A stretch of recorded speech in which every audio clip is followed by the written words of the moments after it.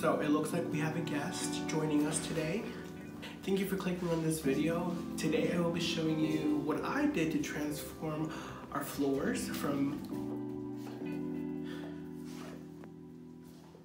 He's being needy right now, yes. Okay, okay, you're okay. Sit.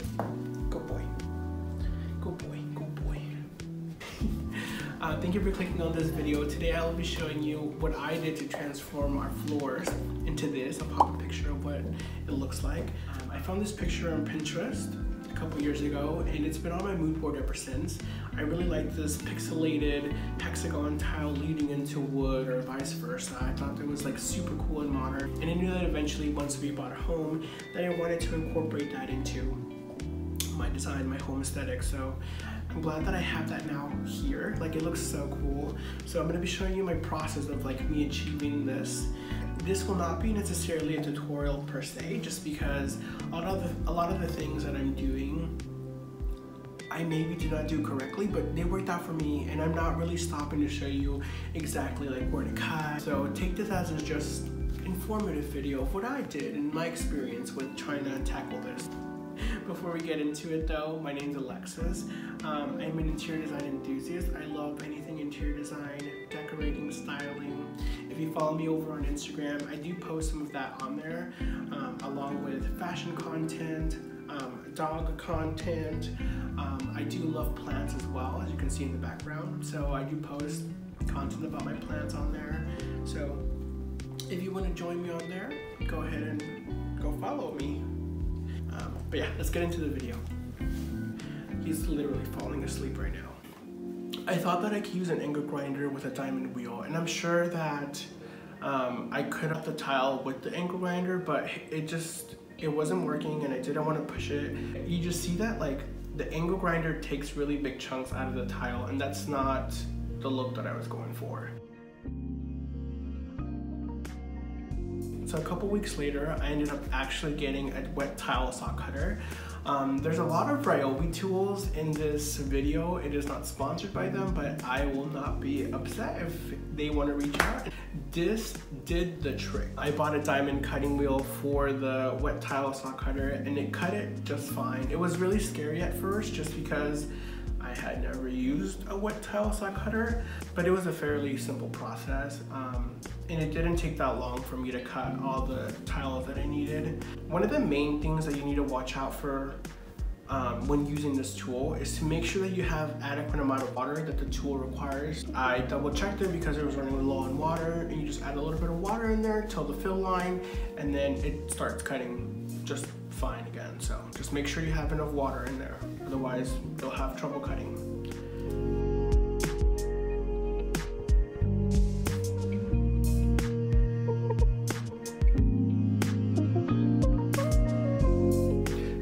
Done cutting all the tiles, I came back inside, I laid them all out, I spaced them out with little grout spacers, and then I drew a line on the floor of where the tiles were going to end. Then in this clip, you see me adding a quarter of an inch gap all the way around just so that at the end, I could caulk all the way around and then have it be a finished product.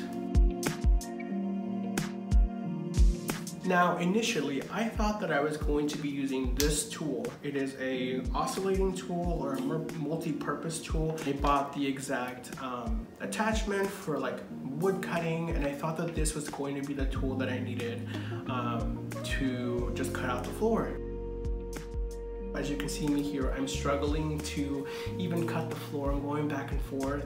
There, that's when I'm like, okay, why isn't this working? Um, but it, it did end up cutting the floor, but I ended up using another tool. I ended up using this circular saw, another Ryobi tool. So I just used the gauge tool here I adjusted the depth, how deep I wanted this uh, tool to cut. Um, I made tiny cuts here and there just to make sure that I wasn't going all the way down to the subfloor. I just wanted to like um, barely graze the subfloor and it worked out pretty good. I thought, like, I don't know why, but I was overcomplicating things in my mind. Um, but yeah, a circular saw and a really steady hand and just being really patient did the trick. So as you can see here, it went through fairly easy. I mean, there is a lot of dust that kicks up, but it made really clean cuts.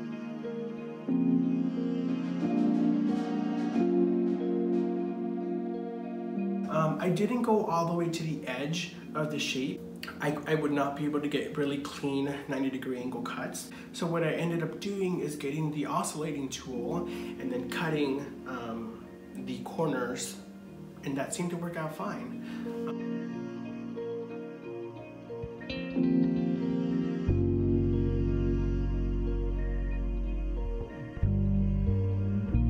Whenever I needed a plank to come up that was still attached to the corners, I just used the oscillating tool to like cut all the way down through and that did the trick.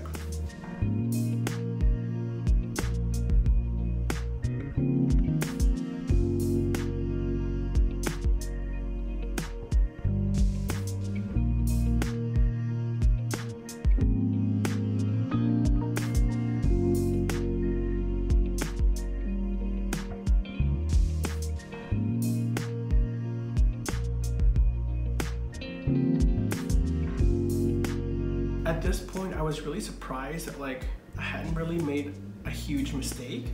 As you can see, the subfloor is barely touched at all by the circular saw, so this really worked out.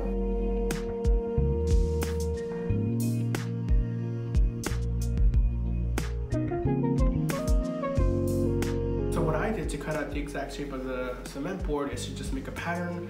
Um, I have a sewing background, so that's it made sense to me to do it this way. From what I read, you can't tile over the subfloor just because the temperature difference could eventually crack the tile. So you need to have a barrier between the subfloor and the tile.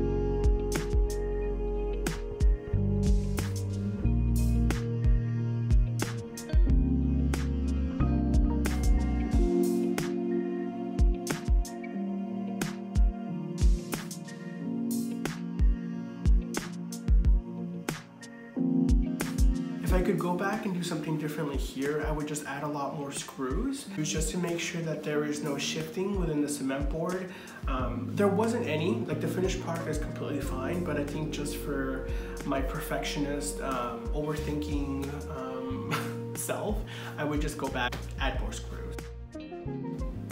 So this is what it looks like. I added tape all around the edge to try to protect it. I did not want it to get dinged up. I mean, hey, that's gonna be the finished edge, so I did not want to mess that up. Um, but yeah, it turned out pretty well. It took me, I think at this point, it had been maybe like four hours into the project.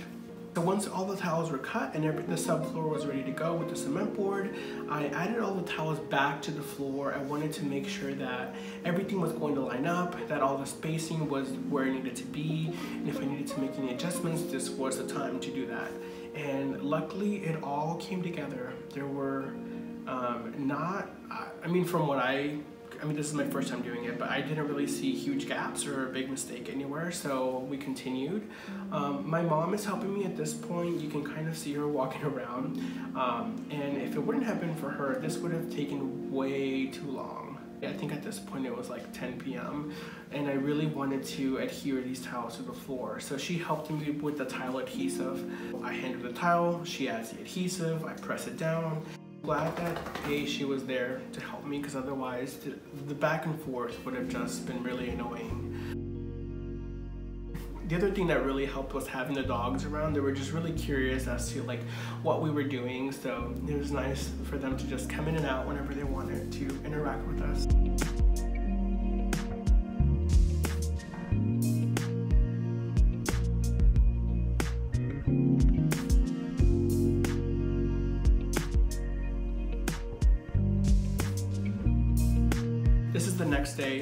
Dried overnight and then I started grouting them. So I went back and forth as to what color I wanted the grout to be. Um, I thought maybe black at first, um, but I eventually went with this light gray and I think that was the right choice. And it brings out all the little inclusions in the tile, like the little veining and the, uh, the subtle like variations within color. So I think it really worked out. Also, don't judge me. I used pre-mixed grout. I didn't want to have to deal with all that and it was easier for me. So don't, don't come for me.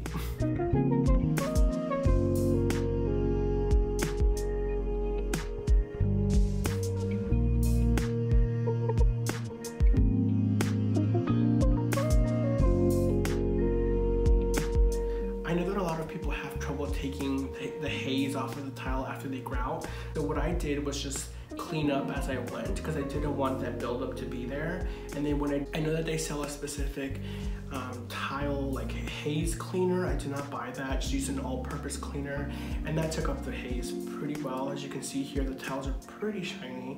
So I was kind of scared about the haze, but I'm glad that that wasn't a big issue. Okay, this is where we're gonna get into a little bit of rant. Um, so I bought this sanded ceramic tile caulk. Let's try saying that five times. Tile, sanded ceramic tile caulk. It's supposed to be flexible just like silicone, but it has the look of grout. I left it alone for three days and it still did not dry. So I don't know, if maybe I just got a bad batch, but I will say do not trust this product. Sanded ceramic grout, no. Eventually, I just had to go back and add just like a black silicone caulk all around the crack and it, it covered it just fine. It looked, it actually looks a lot better, but I'm just upset that I had to spend all that money for it to not work. Don't come for me, I'm using my fingers to smooth this out. I will say, adding that tape barrier from the floor and the tile to caulk, I mean, I know that a lot of professionals, this is the way to do it, but do it do not skip that step. It creates really clean lines. Uh, and this is just so satisfying. Like seeing the tape go up, so satisfying.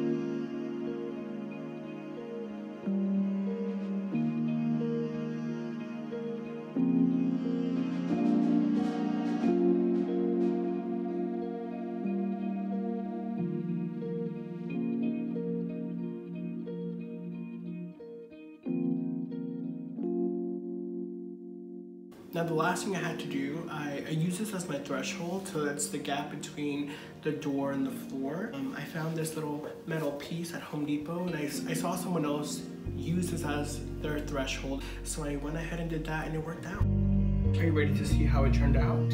All right, let's take a look.